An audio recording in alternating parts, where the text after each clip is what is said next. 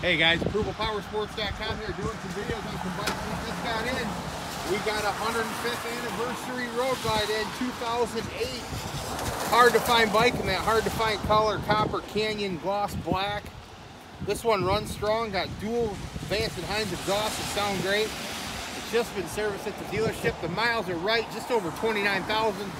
You don't want to miss this one. That's a 2008 105th anniversary road glide ready to go. Give us a call. We'll get it done. 810 648 9500.